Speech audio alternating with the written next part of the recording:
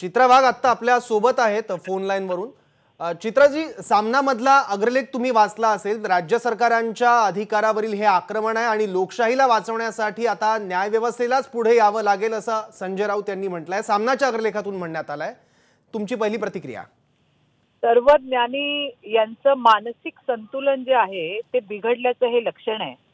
आणि त्यामुळे त्यांनी न्याय व्यवस्थेवरती ज्या पद्धतीची टिप्पणी केली आहे त्याचं त्या वक्तव्याची सर्वोच्च न्यायालयाने सुद्धा गंभीर दखल घेत त्यांच्यावर कारवाई करावी अशी त्या ठिकाणी मी मागणी केलेली आहे. आपण बघितलं की जे निर्णय सरकारच्या विरोधामध्ये येत आहेत आणि त्यावेळेला अशा पद्धतीने आपण बघतोय की सत्ताधारा सत्तेमध्ये असणारी लोक न्याय व्यवस्थेची खिल्ली उडवायचं काम करतायत. आणि हे अतिशय अयोग्य आहे. त्याचं शासन त्यांना व्हायला हवं त्यांच्यावरती कडक कारवाई व्हायला पाहिजे अशी आमची मागणी आहे. मला वाटतं माझ्या आधी ज्यांचा फोन त्या ठिकाणी चालला होता त्यांनी अतिशय सविस्तरपणे या केसचं नक्की काय झालंय याचं त्या ठिकाणी विश्लेषण केलं. पण ज्या पद्धतीने न्याय व्यवस्थेला आता की हा हाती असलेला न्यायाचा तराजू हा चोरबाजारातून विकत आणलाय इथपर्यंत यांची बोलायची मजल गेली. याचाच अर्थ हे आहे की या सर्व ज्ञानींचं मानसिक संतुलन त्या ठिकाणी बिघडलेलं आहे आणि त्यांना मानसिक उपचाराची गरज सुद्धा आहे. पण चित्राजी दिल्लीच्या चोर बाजारातील तराजू म्हटलेला आहे. तराजू हा एक प्रकारे न्यायव्यवस्थेचं प्रतीक मानला जातो. त्यामुळे कुठेतरी हा न्यायालयाचा अवमान आहे असं आपल्याला वाटतं? शंभर टक्के वाटतंय. शंभर टक्के वाटतंय. कारण राज्यामधल्या तर आता तुम्ही बघताय की पोलीस यंत्रणा आणि बाकीच्या गोष्टी. आता त्या पुण्याच्या म्हणजे थोडंसं डायव्हर्ट होईल पण मी एवढं नक्की सांगेन की हा पुण्याचा जो कुचिक आहे हा शिवसेनेचाच बगल बच्चा आहे. तो म्हणतोय त्याची माणसं म्हणतायत की इथले जज सुद्धा आमच्या खिशामध्ये. आणि सरकारी वकील लल्लू म्हणतायत. याचा अर्थ सगळंच यांनी विकत घेतल्यासारखं ज्या आविर्भावामध्ये हे वावरतायत यांची कार्यकर्त्यांची आणि यांच्या लोकांची हिंमत कशी होते की जेव्हा हे सर्वज्ञानी सारखे हे संजय राऊतांसारखे नेते त्या ठिकाणी अशा पद्धतीची भाषा वापरतात? आणि म्हणूनच या सर्व ज्ञानींचं मानसिक संतुलन तिथं बिघडलंय. त्यांना मानसिक उपचाराची गरज आहे. सर्वोच्च न्यायालयाने मागणी आहे ही आमची की सर्वोच्च न्यायालयाने या वक्तव्याची गंभीर गंभीर दखल घ्या. आणि यांच्यावर कडक कारवाई करा. कारण पुढे कोणाची हिंमत नाही झाली पाहिजे. गोरगरीब जनतेचा. नाही महाराष्ट्रातल्या नाही देशातल्या जनतेचा न्याय व्यवस्थेवर विश्वास आहे. आणि त्याची अशा पद्धतीने खिल्ली उडवणाऱ्याला शासन झालं पाहिजे. ठीक आहे. चित्राताई आमचे प्रतिनिधी राहुल कुलकर्णी आता आपल्यासोबत आहेत. त्यांना सुद्धा तुम्हाला काही प्रश्न विचारायचे आहेत. राहुल.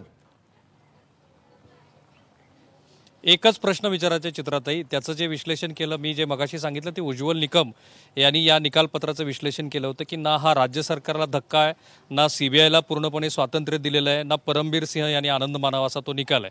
आणि या निकालाचं जर परखडपणे विश्लेषण केलं तर याच्यातनं राज्यातल्या आणि केंद्रीय संस्थातल्या संघर्षामध्ये जनतेपर्यंत योग्य तो संदेश जावा अशा संदर्भातली ती भूमिका होती.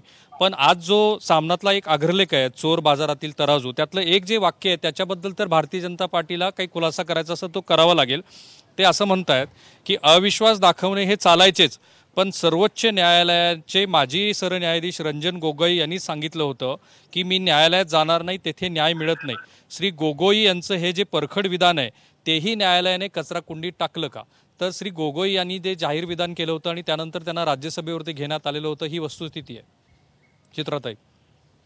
नाही बरोबर आहे तुम्ही जे म्हणलात ते. अग्रलेख ज्या पद्धतीने लिहिला गेलाय त्याच्यामधली जी पहिली मेन जी हेडलाईन आहे आणि त्याच्यामध्ये ज्या पद्धतीने न्यायाच्या तराजूला चोर बाजारातून विकत आणल्याची जी भूमिका त्यांनी किंवा ते जे म्हटलं त्यांनी तिथे जे छापून आलेलं आहे ते महाराष्ट्रातल्या जनतेने वाचलेलं आहे त्याचा आम्ही त्या ठिकाणी निषेध केलाय. आणि अशा पद्धतीने राज्य सरकारच्या विरोधात ज्याचं अतिशय चांगलं विश्लेषण राहुल तुम्ही त्या ठिकाणी केलं मला वाटतं हे विश्लेषण जर तुम्ही सर्व ज्ञानींपर्यंत पोहोचवलं असतं तर कदाचित हा अशा पद्धतीने अग्रलेख लिहिण्याची त्यांच्यावरती वेळही आली नसती. पण कुठेतरी वेगवेगळ्या घटनांनी किंवा जे काही सत्य समोर येत आहे त्याच्याने सर्व ज्ञानी आणि त्यांच्या पक्षाचं मानसिक संतुलन बिघडलेलं काल विधानसभेत सुद्धा आपण सगळ्यांनी पाहिलं. आणि म्हणूनच मला वाटतं कुठेतरी या सगळ्यांनाच मानसिक उपचाराची गरज आहे.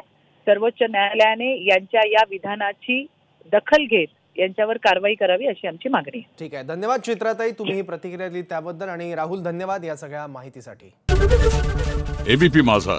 उघडा डोळे बघा नीट.